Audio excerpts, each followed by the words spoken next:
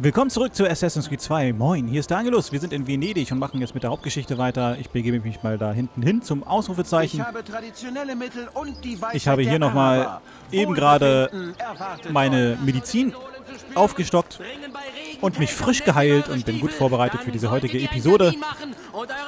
Episode 23 von Assassin's Creed. Schön, dass ihr dabei seid wieder.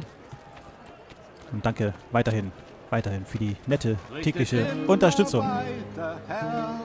So, das ist das Gebäude, wo ich rein soll, wo dieser Händlerboss lebt. Was für ein Mann. Nicht wie Arrigo. Was für ein Mann, ja, ja. Du meinst bestimmt den Bade, ne, der so schön singen kann. Ich schub's dich gleich rein hier in den Grande Kanal. So, ich schwimme mal hier außen rum. Das ist der Grande Kanal. Ich muss nur diesen Händlerboss schon mal Hallo sagen. Damit er auch weiß, dass Ezio jetzt hier in der Stadt angekommen ist und sich die Zeiten jetzt ändern werden. Für ihn. Der Barbarigo, der war nämlich auch auf der Liste drauf, die wir bekommen haben. Von den Verschwörern. So, hier komme ich wenigstens schon mal rauf. Aber wie, wie sauber das Wasser hier noch ist. Sieht heutzutage, glaube ich, nicht mehr so schön aus, oder? Ich weiß nicht. Ich war noch nicht in Venedig. Wäre eine Stadt, die ich gerne mal besuchen würde. Aber die ist ja auch so überfüllt von Touristen, ne? Das ist ja ganz, ganz, ganz furchtbar. Aber ist natürlich auch was, was man vielleicht mal live gesehen haben sollte. Ihr müsst uns ein paar eurer Tricks beibringen. Nee, nee, die Tricks gehören mir. Ich kann, ich kann das nicht. Jedenfalls nicht so gut. So, hier komme ich schon mal rauf, glaube ich.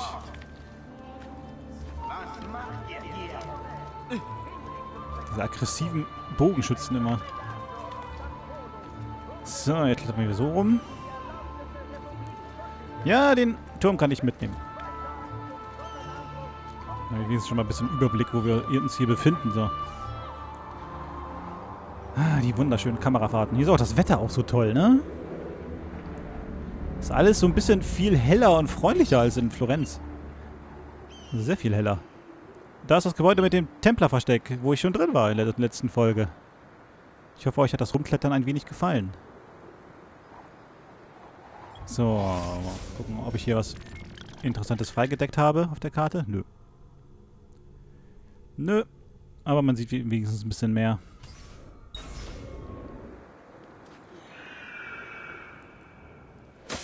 Zum Glück ist er nicht in den Brunnen gesprungen. Da wären wir nie wieder rausgekommen. So, immer mal Geld da lassen für diese netten Damen hier. Und sie dann wieder stehen lassen. Warum ich das mache? Es gibt eine Trophäe, ähm, dass ich bei diesen Damen 5000 äh, Florin insgesamt dalassen soll. Deswegen nehme ich alle mit, die ich finde.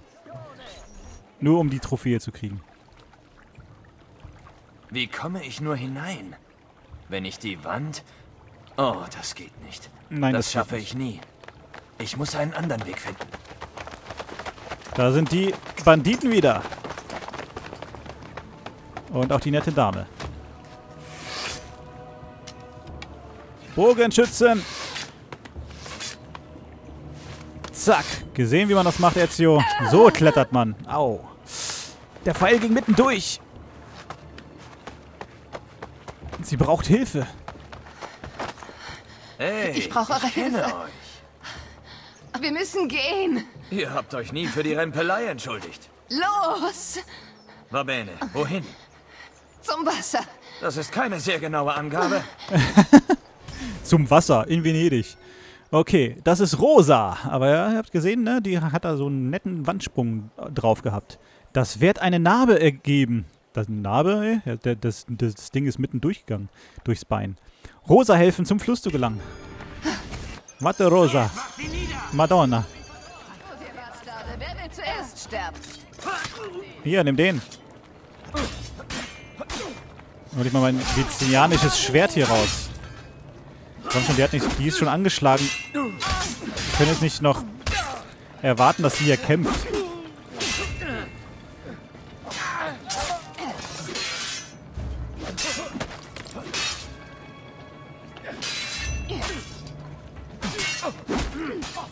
Hier, eine fress das.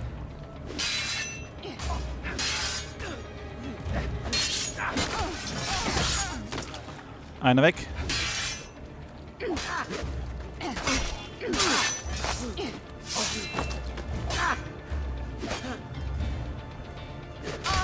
Wo bleibt ihr denn? Beeilt euch! Ich bin noch hier. Wo wollen wir denn hin? Geh du vor, du kennst dich hier aus. Das ist deine Stadt. Ich bin nur zu Besuch. Sie hat immer noch das Teil im Knie stecken, ey. Wo bleibt ihr denn? Beeilt euch! Aber er kann immer noch schnell laufen, ne? Ist hart daneben, die gute Rosa. Du musst aber nicht jeden umrempeln. Du kannst auch drum, drum, dran vorbeilaufen. Verfluchte Bogenschützen!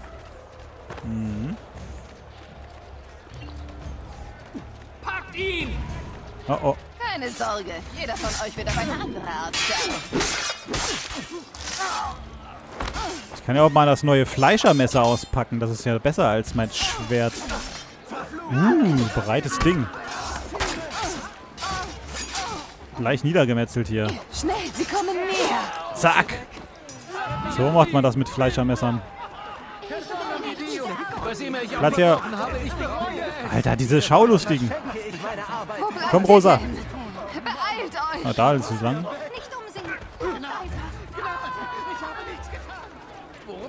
Die Stadt ist zu überbevölkert.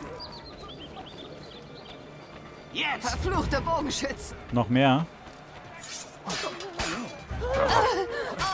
Nein, nein, nein, ich, ich will nicht sie schlagen. Die stand ungünstig im Weg. Hä? Er hat daneben geschlagen. Hey, lass mal die Frau los.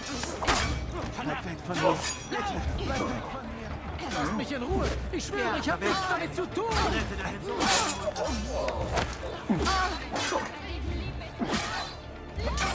Da haben wir eine Lanze dabei. Verfluchte Bogenschützen! Puh, anstrengend mit ihr durch die Stadt zu gehen. Gibt halt auch viele Wachen. Allein wäre ich besser dran. ja, sorry, ey. Ich kann auch wieder gehen. Oh, Fleischermesser im Kopf. Hör mal auf, den zu schlagen, sonst komme ich nicht an seinen Rücken ran. Wo bleibt ihr denn? Beeilt euch! So, geht voran. Wir sind übrigens schon an Wasser vorbei, ne? Das Wasser hättest du auch nehmen können. Allein wäre ich besser dran. So, da ist die große Brücke, da ist auch Wasser. Kommen noch mehr oder sind wir durch? Na, wird, wird müde, ne? Tut bestimmt weh. Diebe will ich gerade nicht einsetzen. Ich kann dich tragen. Wie ein wahrer Gentleman. Ich habe euren Namen nicht verstanden. Rosa, Honorato, Rosa. Ich bin Ezio. ich weiß. Eine Minute, bitte. Was soll das heißen, ich weiß? Nicht jetzt. Ich weiß. Wir haben keine Zeit zum Plaudern. Oder seid ihr blind? Tja, Ezio, sie kennt dich. Na, die Wachen, äh, die Diebe laufen mir automatisch hinterher, weil die halt auch zu Rosa gehören. So, hier haben wir auch gleich einen Arzt. Ich gebe auf. Das ist Gnade. Was habe ich getan? Anonym werden. Ja, ich muss hier erstmal weg, wegmessern hier. Mit meinem Fleischermesser.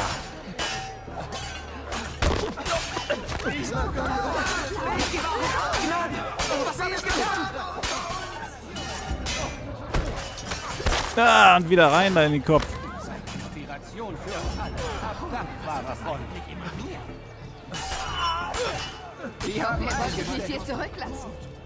Ich will dich nicht zurücklassen. Ich musste hier nur ein bisschen Leute wegschnetzeln. Ich heile mich mal. Hab ein, einen Lebenspunkt verloren. So, Lady. Wir sind inkognito. Soll ich dich wieder aufheben? Ugo! Was ist los? Hugo. Rosa ist verwundet. Gebt sie her. Für den Rest des Weges nehmen wir das Boot. Vorsicht.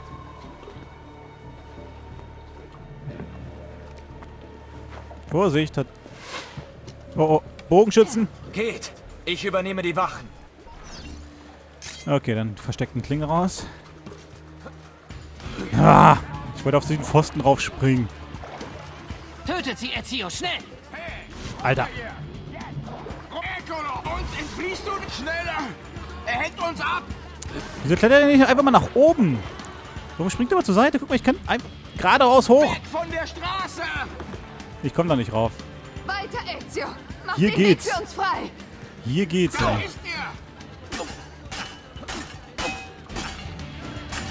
er! Ezio war so schlecht im Klettern damals, ey.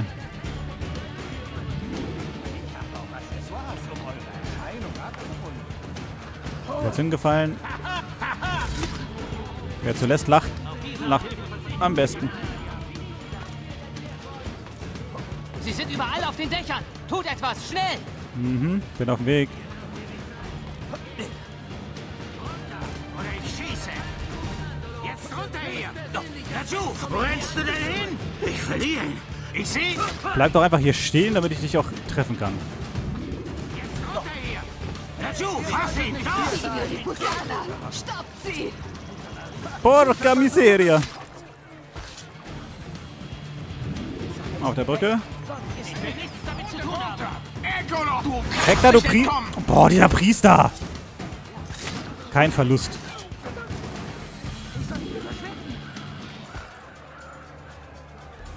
An dem muss ich hier, glaube ich, erstmal nur vorbeigehen. Dio wie Benedica. So, und jetzt weiter. Wo ist das Boot? Sie schießen auf uns! Ich weiß, ihr seid woanders lang gefahren, ne? Mist, ihr habt voll aus den Augen verloren. Der Priester war schuld. Da sind sie. Mach mal Platz hier. Warum? Was habe ich getan? Warte mal, die fahren auch hier an mir vorbei. Bitte tut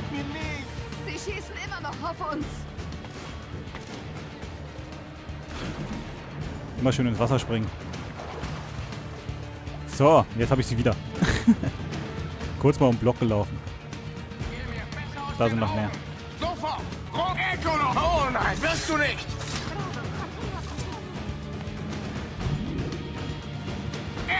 Uns entfliehst du nicht! So.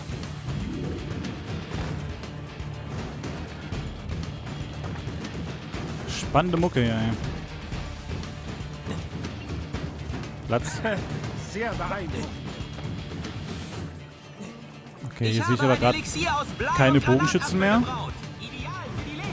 Wollen wir hier anlegen? Nein?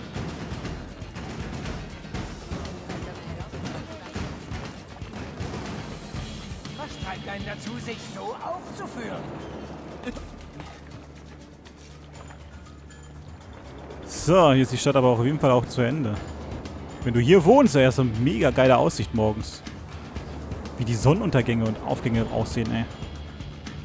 Kannst auch einfach mal die Angel aus dem Fenster halten und dir dein Frühstück angeln, ey. Voll geil.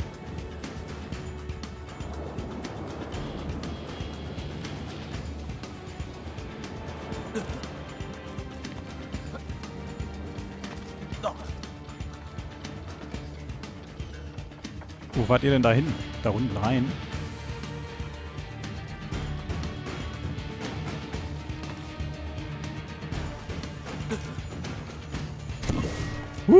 Jetzt habe ich eine Feder eingesammelt. Scheiße.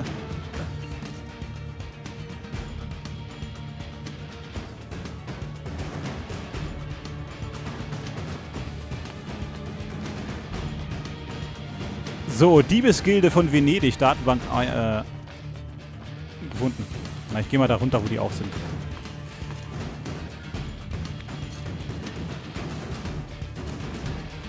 Nö.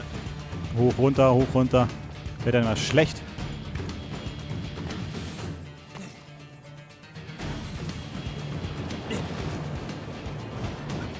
So, die warten nämlich nicht sonst noch auf mich. Oh, sie haben einen erwischt auf der Fahrt. Einer ist tot. Er ist tot, Idiota! Beten kannst du später. Porco Ich Demonio! muss zu... Ich muss zu Antonio. Vorsicht! Lasst mich das machen. Geht und sucht Antonio. Jesus Hugo, tu, was er sagt. Jetzt geben mir schon die Neuen die Befehle. Wer hat gesagt, dass ich der Neue bin? Hä? Hey, hey! Aufwachen! Bestimmt auch ein bisschen viel Blut verloren gerade bei so einem Durchschuss von einem Pfeil und dann noch die ganze Zeit gelaufen. Das ist nicht so gut für die Wunde. Wir brauchen Hilfe! Wo ist Antonio? Macht euch nützlich. Schafft Platz für sie. Legt sie Ja. dort ab. Ah, wenigstens eine weichere Unterlage.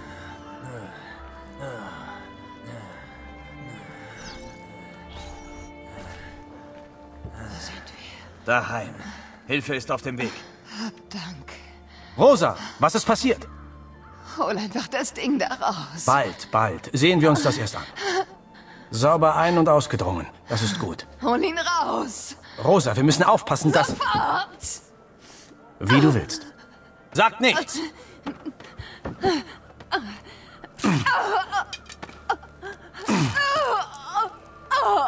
Tut mir leid, Piccola. Nicola, schieb dir dein Mitleid in den Hintern. Geh, hol Bianca. Mach schnell. Ihr müsst mir helfen. Wie? Nehmt ein sauberes Tuch. Wenn ich die Hand wegnehme, drückt den Stoff in die Wunde. Seid ihr bereit? Ja, ja. Jetzt. Porca puttana. Ben Fatto. Ihr arbeitet gut unter Druck. Sie hat Temperament, die Kleine. Allerdings. Avanti! Bringt sie hinein, damit Bianca die Wunde schließen kann. Das wird wieder. Das Schlimmste ist vorüber. Ich wünschte dir Pest, du Bastard. Dir und deiner dreckigen Hure von Mutter. Danke. Rosa ist mir sehr wichtig. Würde ich sie verlieren? Ich hatte immer eine Schwäche für Frauen in Not. So sagt man. Tut nicht so überrascht. Wir wissen alles über euch, Sir Ezio. Über eure Arbeit in Florenz und in der Toskana. Gute Arbeit, wenn auch etwas ungeschliffen. Dann wisst ihr, warum ich in Venedig bin. Ich ahne es.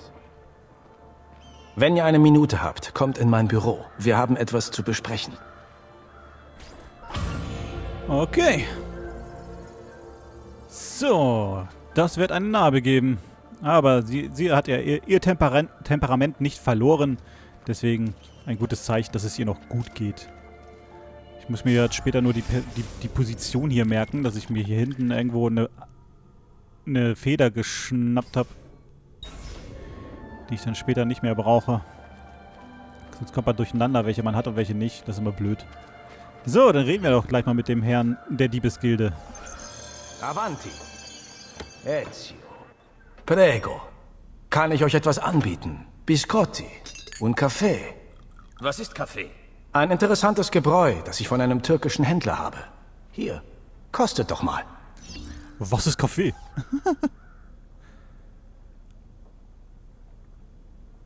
Etwas bitter, wenn ihr mich fragt. Irgendwas fehlt da noch. Ich weiß nicht, habt ihr es mal mit Zucker probiert? Oder Bäh. Milch? Ich schätze, es ist eher etwas für Kenner. Aber genug davon. Äh, wo waren wir? Milch okay, aber kein Zucker. Das ist doch widerlich. Kaffee mit Zucker schmeckt furchtbar. Ich meine, der schmeckt ja so schon schlecht. Der Fehlschlag am Palazzo wirft uns zurück. Davon müssen wir uns erst erholen. Sicher wird Emilio die Zeit nutzen, seine Verteidigung zu stärken. Und die Unterdrückung des Bezirks fortsetzen. Wir haben nicht dieselben Motive, aber wir haben dasselbe Ziel. Sammeln wir unsere Kräfte und versuchen es erneut. Übereilte Taten bringen nur weitere Verluste. Nein, wir müssen abwarten und neue Pläne schmieden. Ich kann nicht untätig herumsitzen und warten. Nun, das müsst ihr nicht. Arbeitet mit uns. Meine Männer rappeln sich bereits wieder auf. Geht zu ihnen. Sie werden euch beschäftigen. Je eher ihr ihnen helft, desto eher können wir zuschlagen. Molto bene, Messere. Akzeptiert. Eine weise Entscheidung. Neue Verbündete gefunden in Venedig. Das ist doch schön. Bauklötze. Ja, was anderes stand da auch nicht. So, jetzt haben wir hier die gute Rosa, die da schon wartet. Oder das Büro ihm, von ihm selbst, wo wir dann verschiedene Sachen starten können. Schon nicht so schlecht. So, ich quatsch nochmal Rosa an. Gucken, ob es, ob es ihr schon mal besser geht so, aber sie hat noch eine Krücke. Salute, Rosa. Ihr scheint euch gut zu erholen. Wie gefällt euch Venezia? Die Stadt hat Charme. Aber wie könnt ihr mit dem Gestank leben? Ekelhaft.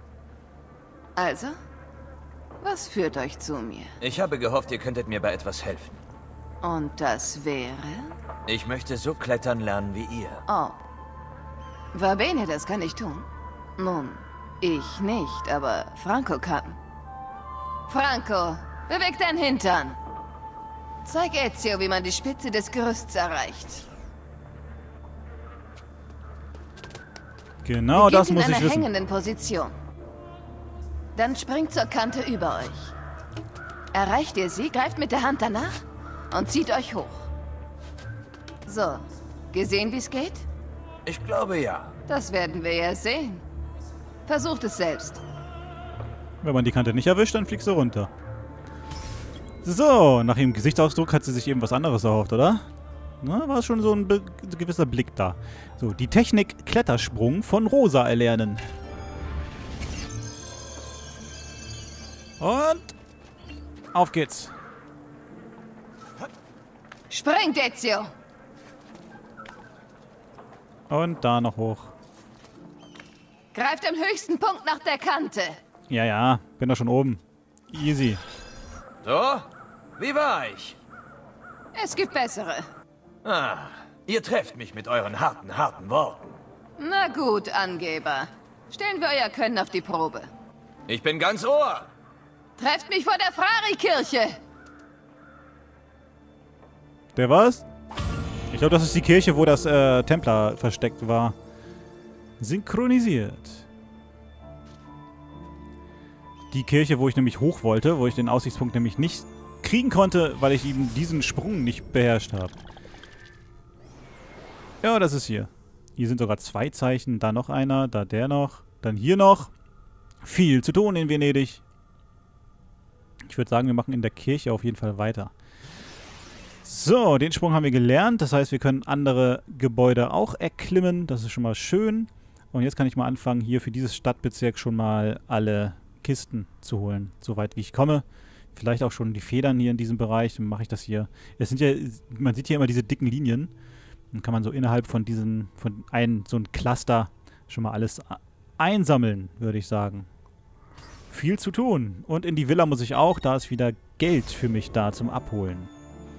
Okay, Leute, ich bedanke mich fürs Einschalten. Ich hoffe, euch hat die Folge ein wenig gefallen. Wir haben die Diebesgilde hier in Venedig kennengelernt, die gute Rosa und ihren Kollegen dafür auch. Nette Personen, gute Verbündete und wir können auch einiges von denen lernen. Also, vielen Dank und bis zur nächsten Folge von Assassin's Creed 2. Ciao, ciao.